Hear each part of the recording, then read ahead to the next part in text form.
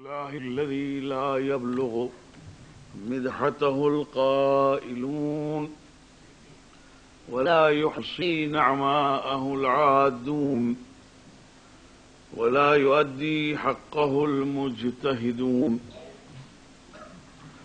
والحمد لله الذي من علينا بمحمد صلى الله عليه وآله وبآله الطيبين الطاهرين المعصومين.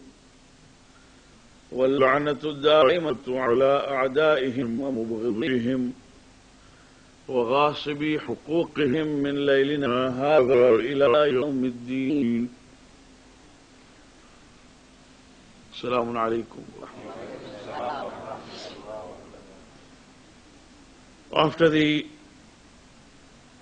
tragedy of Karbala, a new era has started in the lives of Ahlul Bayt salam.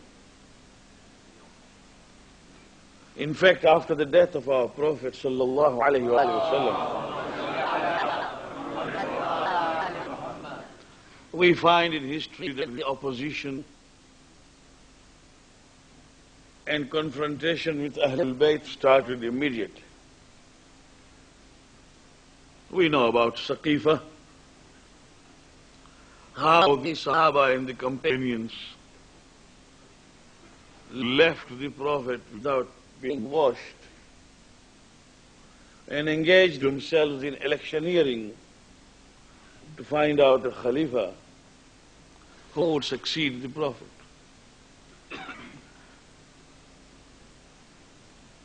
Something unimaginable happened. But it happened and it has been confirmed.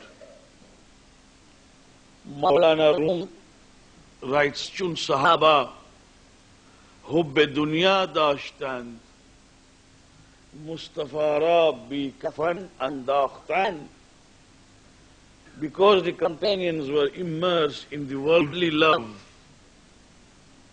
they left Mustafa without kafan Maulana Rum is not Shia چون صحابه حب دنیا داشتن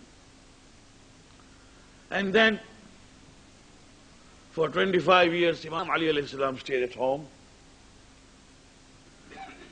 they did whatever they wanted to do and when Mawla became Khalifa that means by consensus he was allowed four years and nine months and few days to remain a Khalifa without a single day in which he could pass his time peacefully.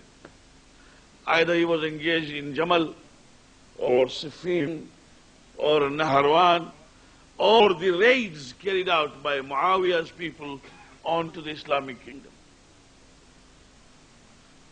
You can read history find surprising that we should have something like Nahjul Balagha today.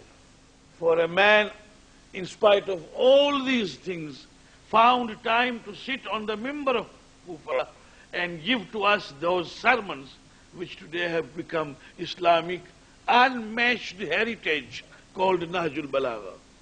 If they had allowed him more time, we would have had more from Ali ibn Abi Talib. Today, his letters and his sermons that we have among us in Nahj and we have in many other volumes as well. Because Mas'udi writes that I remember at least 480 khutbah of Ali ibn Abi Talib salam, who was earlier than the compiler of Nahj Balagha. Nahj Balagha is 200 years later. Therefore, he has taken some 280 khutbahs. Muruj Zahab writes, Mas'udi, that I remember more than that.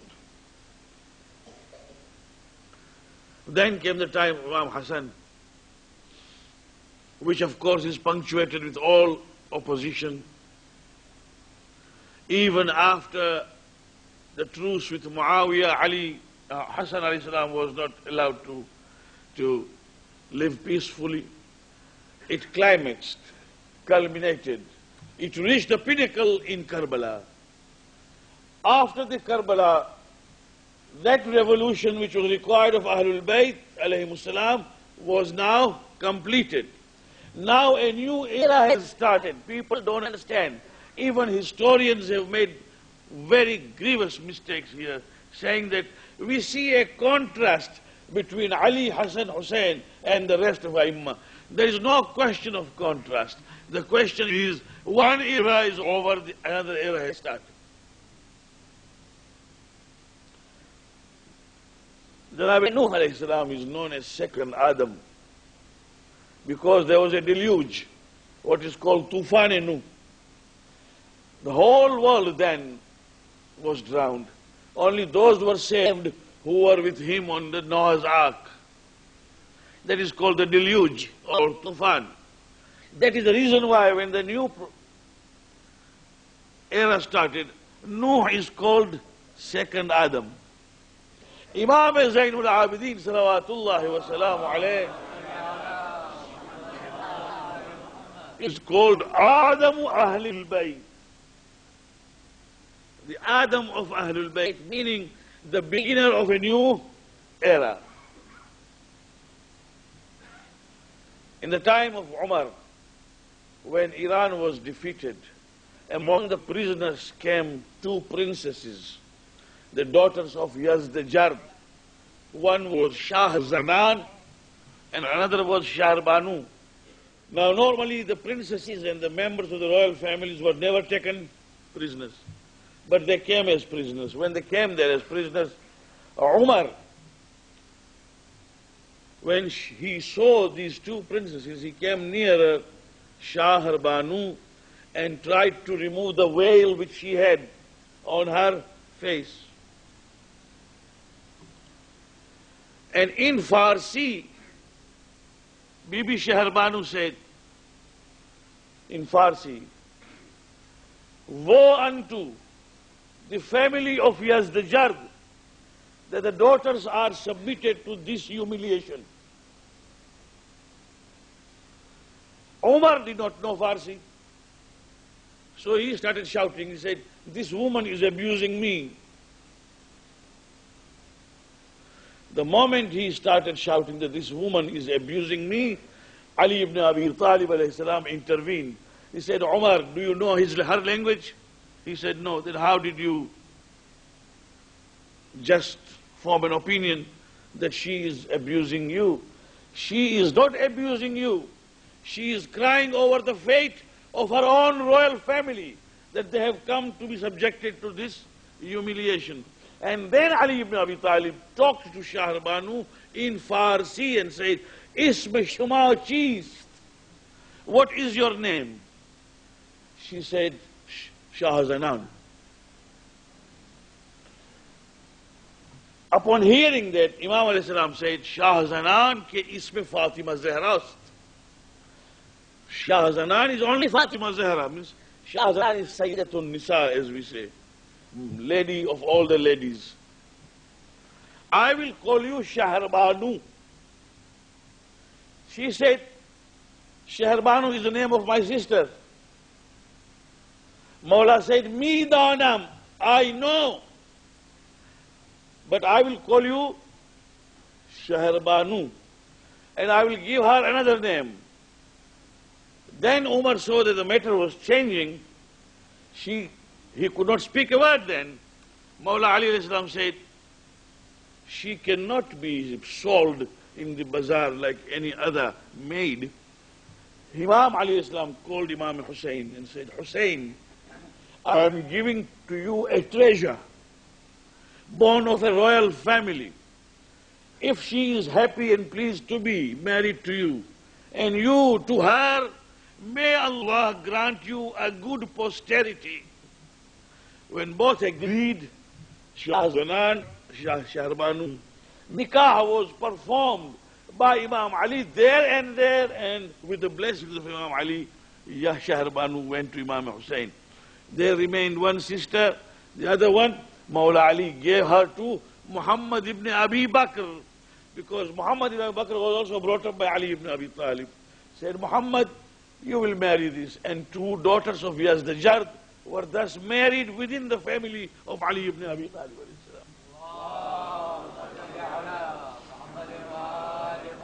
In Hijrah 38,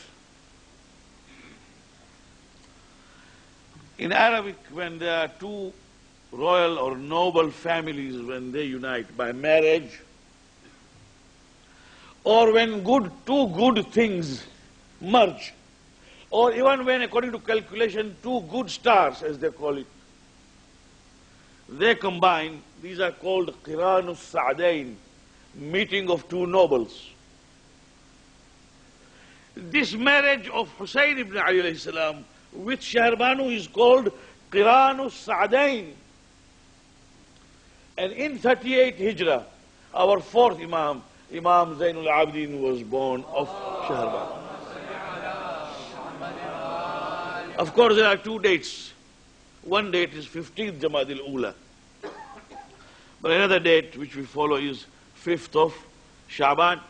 And we follow this date because we received this amendment in our date from Ayatullah Sayyid Hussein Burujardi, who wrote a letter to us saying that according to my investigation and research, this is a correct date of the birth of Zainul Abidin alayhi salam. 5th of Shaban. Makes no difference whether we observe it on 15th Jamadil Ula or 5th. The purpose is to remember him. Ten days after his birth, Janab Shahrbanu died. Ten days after. Therefore, the stories that we receive in Iran, when you go there, they show you some mountains and say, here is Shahrbanu. Ladies are allowed to go or not allowed to go, I don't know.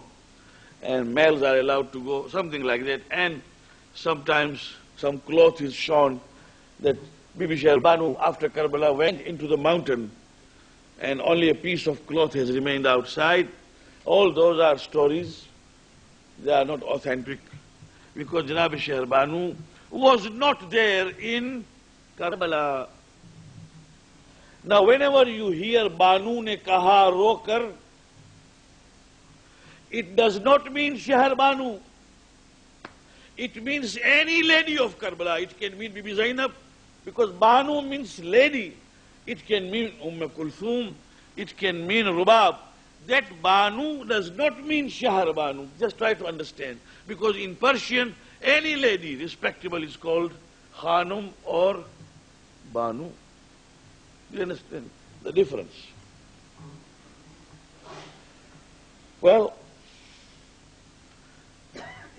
he lost his mother while infant. But then Imam Hussein had other wives. And it is seen in the life of Imam alayhi salam, something which we should learn. And on such nights as this, one feels like reminding our brothers, our boys, our youngsters. He never ate at home without his mother being there. Which mother? Stepmother. He would say, let us now have our lunch or our meal. But he would wait till mother had finished her prayers or her household chore and say, Mother, you will sit with me. Not the real mother. The real mother has passed away. Is a stepmother. And as she said, he will never, never extend his hand first to any dish. Wait. The mother first takes whatever she likes, then he follows. So somebody said, Yabna Rasulullah, why don't you sometimes? He said, I fear that a particular dish she might be liking more and she might need more than one helping. If I take it away, she will be deprived. She is my mother. If stepmother has that status, my friends, what about the real mother? This is the akhlaq of Al Muhammad Islam taught us that stepmother is a mother.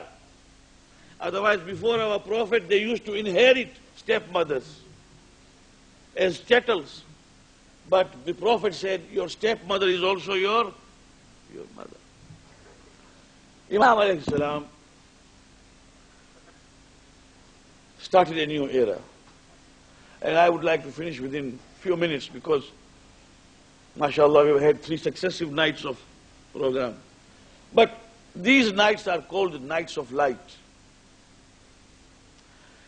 In ahadith, when people meet to remember Ahlul Bayt and their teachings, those are called Layali Nur. Layali Nur means Shabhai Nur. It means the lights of, nights of light. To be able to sit anywhere else and have a small chat is something else.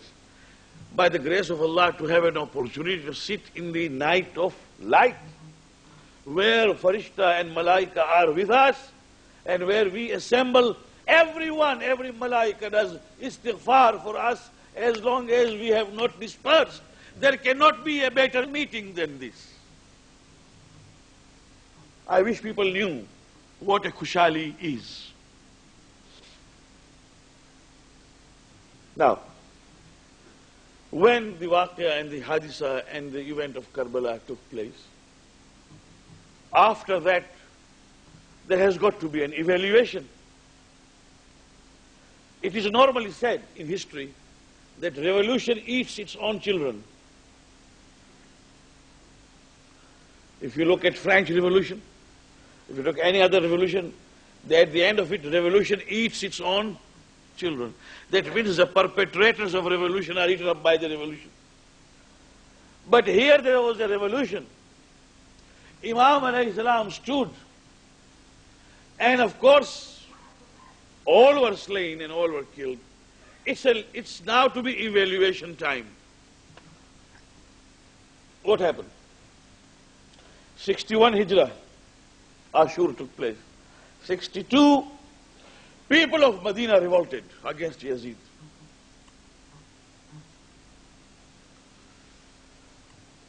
The khutbah, each word that I say I will not repeat because have no time.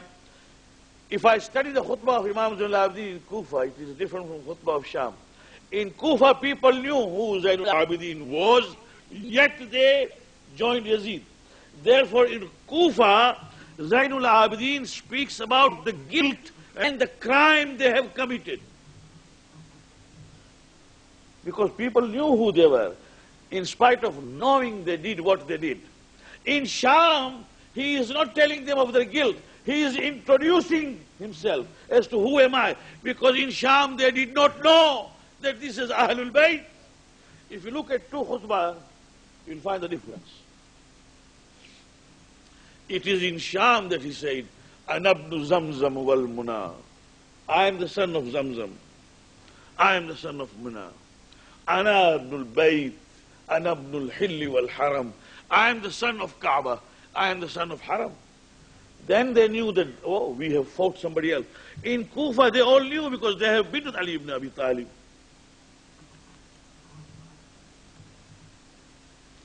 So people of Medina revolted. In, in 64 end and 65 beginning, Sulaiman ibn Surad al-Khizai revolted. This is called Jama'atul Tawabin, the repentance. They were all slain and killed. In 66, Mukhtar stood up. We know this. It's all happening. In any of these revolutions, Imam Zainul Abidin did not take open sides. No. He blessed Mukhtar, that is something else, whenever the news came.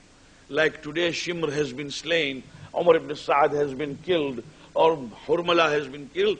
Imam alayhi said, May Allah bless Mukhtar.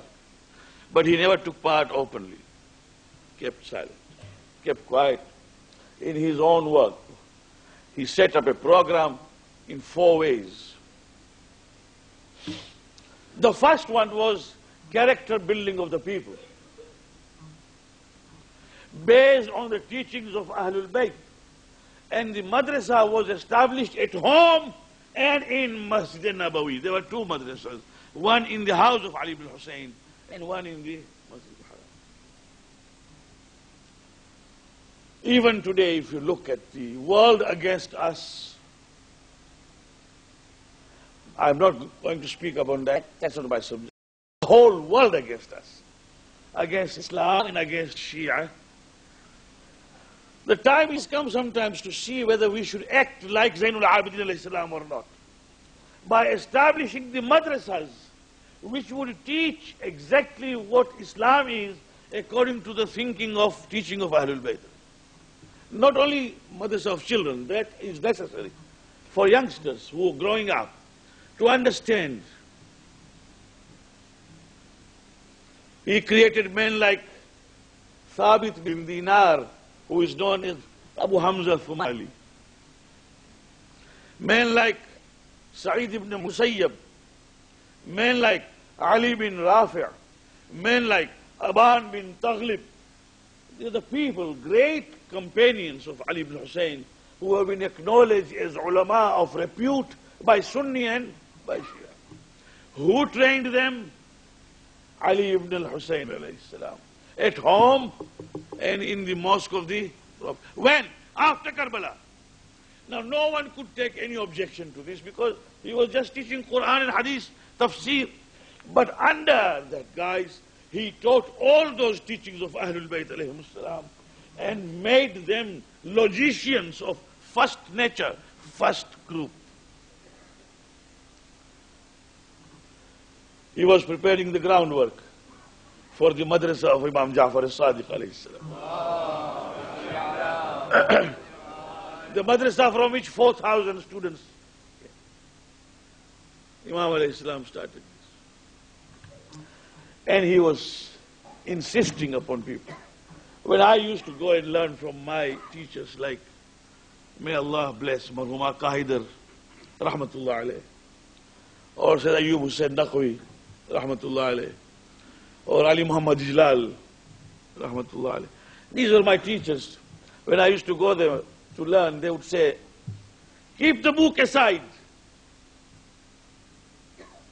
The first thing you want to learn and must learn from me is tazkiyatun nafs, to make your nafs pak. Is it pak? Is that conscience of yours, is it pak and pure? If it is not, don't learn. Because an alim who has got najis nafs will become a najis alim. First try to be pak in your nafs. And they used to give us lessons in akhlaqiyat to show how one has got to be.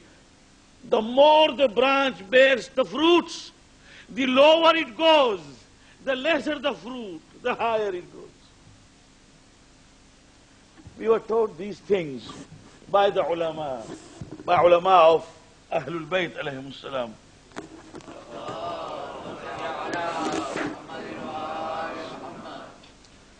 The days are of Husham ibn Abdul Malik. And all of you have heard, I'm just repeating it for my thawab and for us to enjoy that particular incident which took place in history. Husham was heir apparent, not the king. Abdul Malik was the Badshah, king of Banu after Karbala. He came for Hajj, and just like these days, he could not go to kiss Hajar Aswad. Impossible. Multitude of people, all surrounding Kaaba. How could he go? Much as he tried, he could not reach. So his friends and ministers told him to wait. When the crowd lessens, then you will go. So he sat beside Maqam Ibrahim, waiting for the crowd to reduce. And just then, when the people were actually going towards Kaaba like flocks of people and crowds of people, a man appears with his glance cast on the ground and he says, Please make a way for me also. And the people started separating. And the, he saw from there that the crowd is making way for one man. Who he is, we do not know and they made the way up to Hajar Aswad. So Husham ibn Abdul Malik said, who is this man? Is there another king also here? All of them, in order to please, Husham said, we don't know. They knew who he was. They knew very well who he was. But they said, we, a student of Imam alayhi salam's household, one of the names that I have given was Hamam bin Ghalib. The other name which is famous is Farazdak. He was there, and because he was trained by our fourth Imam, immediately said, وَلَكِنَّ أَنَا أَعْرِفُهُ While the others were saying, we do not know who he is.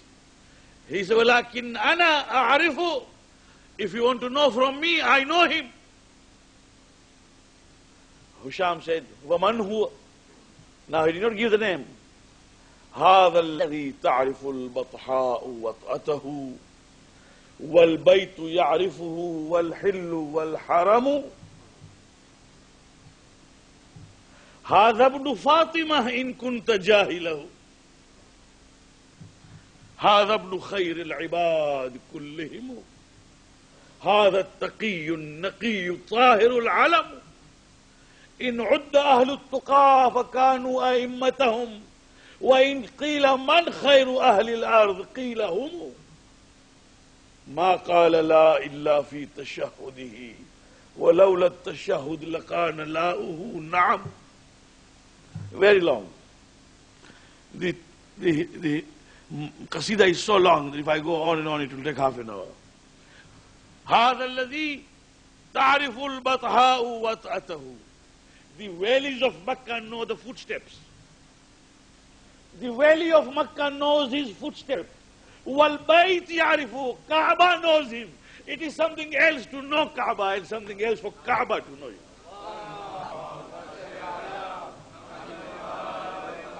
To say I know Kaaba is something else. To say Kaaba knows me is uh, something. وَالْبَيْتُ يَعْرِفُهُ Kaaba knows him. وَالْحِلُّ وَالْحَرَمُ Haram knows him. And the area beyond Haram also knows him. هذا ابن فاطمة he is the son of Fatima Zahra سلام الله عليها إن كنت جاهله if you don't know let me tell you هذا ابن خير عباد الله كلهم he is the son of one the best of the creation ever walked on earth in عد أهل التقى if you want to count the people of taqwa كانوا أئمتهم all these are the leaders of people of taqwa. وَإِن قِيلَ مَنْ خَيْرُ أَهْلِ الْأَرْضِ قِيلَ هُمُ and if somebody were to ask who are the best of all creation, they are the best of creation. And the last thing which he said, he has never said no to the poor except in tashahud. The word la means no. He has never used the word la except in tashahud. Because in tashahud there is a word, ashhadu la ilaha illallah. He has never used the word la except in tashahud. And if there had been no tashahud, his la would have been na'am. Husham could not understand. And he said, but after all, who he is? Farazdak said, he is Mawlaya. Ali ibn al-Husayn ibn Ali ibn Abi Talib. He is Ali, son of Hussein, son of Ali, son of Abu Talib. Husham was so disturbed that he jailed him. He put him in prison. Farazdak was put in prison, punished for having said this. But he realized for the first time that the rule and the influence which Allah gives is something else. And the power and the rule which the worldly people give is something else. Here, the heads might bow down. There, the hearts bow down. created man like that, and he himself developed a personality which was actually the successful accomplishment of Karbala. People realized that wealth is something else and kingdom is something else. Ahlul Bayt something else.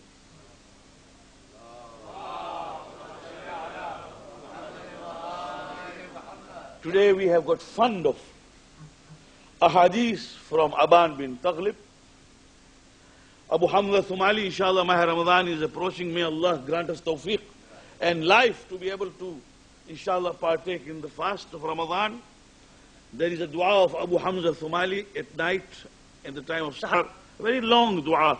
But just read the translation over the month. Not if you can't get time in one night, it's quite lengthy.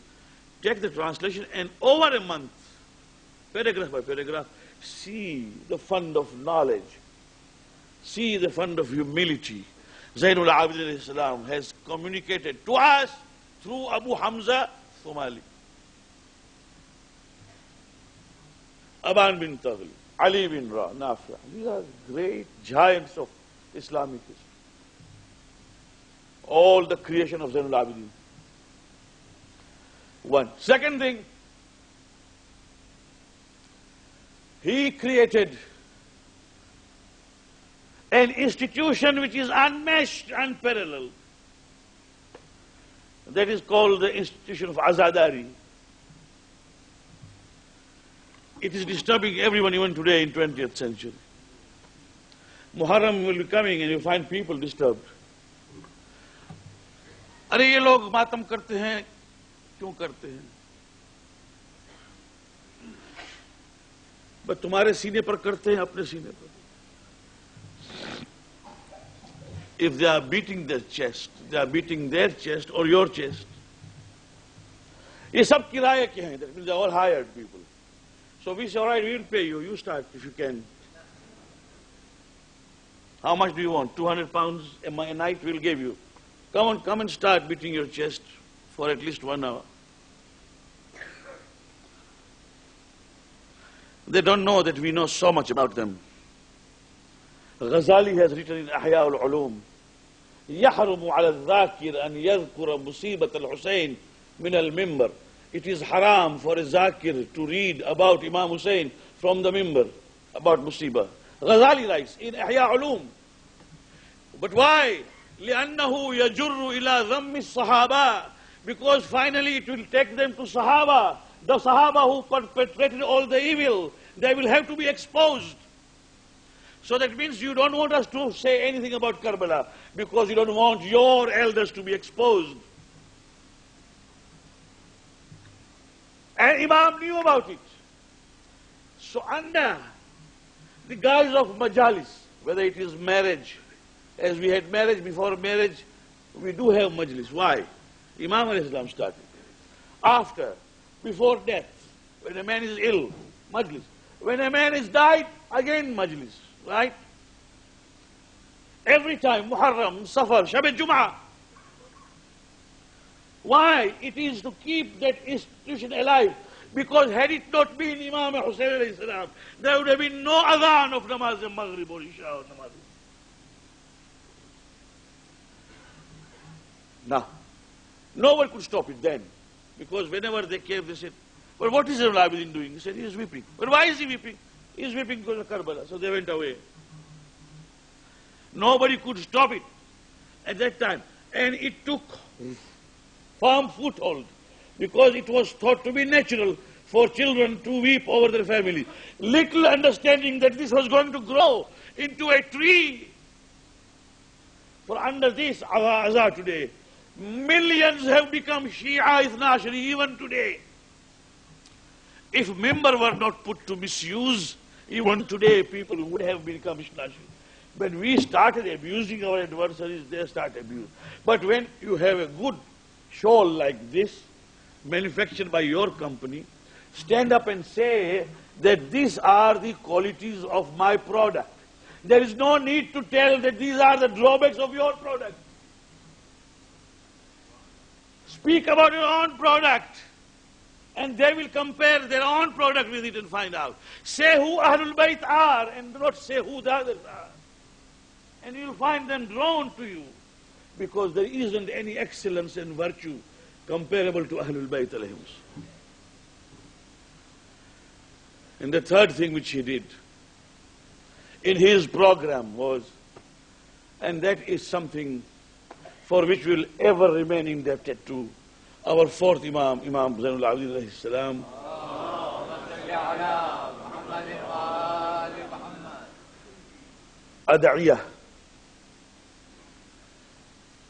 No one, a believer, of course, always has moments of inspiration where he likes to, to, to pray to someone.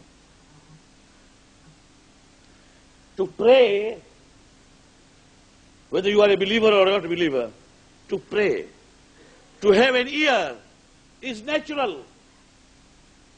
I never realized this. Urge of prayer, I never realized till when I was in Baghdad, four months and four days, and in the four wall that we had, and we could not get out of the four walls for four months and four days. Some of the prisoners who never prayed, huh? Muslims, they would come near a wall, any wall, corner, and whisper into the wall and say, we are in a problem. Is there any way of getting out? Help us. And I used to ask them, what's happening? He said, when we go to the wall, we find a companion who is listening.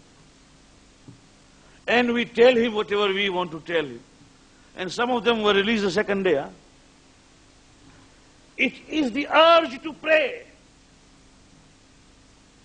which is natural. The only difference is, you pray to a wall which makes no difference, and you pray to He who created the wall. There is a difference. Who says, Ana Sami' wa Ana al-Basir. I am the one who hears and I am the one who sees. Zainul Abidin alayhi salam, under the guise of ad'iyah, dua, taught the teaching of Ahlul Bayt, not only Ahlul Bayt. In fact, it is my submission that take dua number 20 from Sahifa Kamila. It is called dua Makarimul Akhlaq. And read every line. And compare it with all the psychological treatises of today and yesterday. And see how advanced the teaching of Zainul Abidin is. How a man should live when he's old, how a man should live when he's young, how a man should live when he is poor, and how he lives when he is rich, how when he is famous, how when he is unknown. Things which make us think. How to balance our own complexes all this is in, uh, in one dua, which is called Dua Makarimul Akhlaq. He left this behind. It's called Sahifa Kamila. And in the calculation of collection of hadith, there are only two collections which are which are I mean unchallengeable in the sense that there can be no doubt about the authenticity. Only two. Others, there are doubts, no? That maybe this hadith may be true, this hadith may not be true, the reporter is right, the reporter is not reliable. In other hadiths, there are many debates. But there are two collections in which there are no debates. One is Nahjul Balagha, another is Sahifa Kamila. Sahifa Kamila, there is no room for debate, for it was given written by Imam Muhammad Baqir alayhi